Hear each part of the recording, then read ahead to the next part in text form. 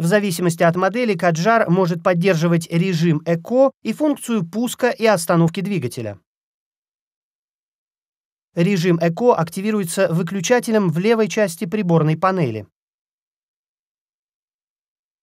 При активации на щитке приборов загорается индикатор ЭКО. Режим ЭКО позволяет снизить потребление топлива при езде. В зависимости от модели водителю доступны различные средства экономии топлива. Тахометр с зоной ЭКО, индикатор переключения передач, индикатор стиля вождения и прочие. При помощи меню Driving Eco 2 в разделе «Автомобиль» водитель может составить отчет о поездке и получить советы, как снизить потребление топлива.